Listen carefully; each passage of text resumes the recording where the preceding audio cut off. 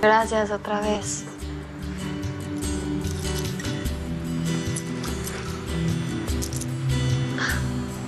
Cualquier cosa que necesites me marcas, ¿va? Sí.